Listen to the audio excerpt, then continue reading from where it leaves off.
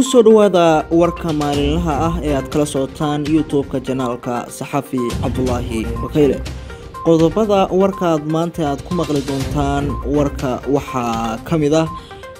barahiilare oo ugu baaqay ummadda soomaaliyeed in la iska xeliyo kenya ahlu sunna oo ka hortimiin ciidamo amisoona la keenay galmudug ra'iisul wasaare khayre oo soo xiray bandhiga buugaagta muqdisho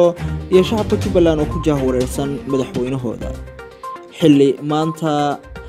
seeraar uu ku dhawaaqay inuu yahay madaxweynaha jubbaland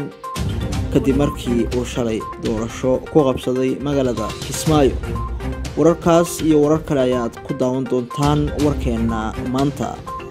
Sidoo kale kama maqnaan wararkii arrimaha dibadda iyo ciyaara haddii aad ku cusub tahay janaalka sabskribe saar muuqaalkan laygare sidoo kale asxaabtaada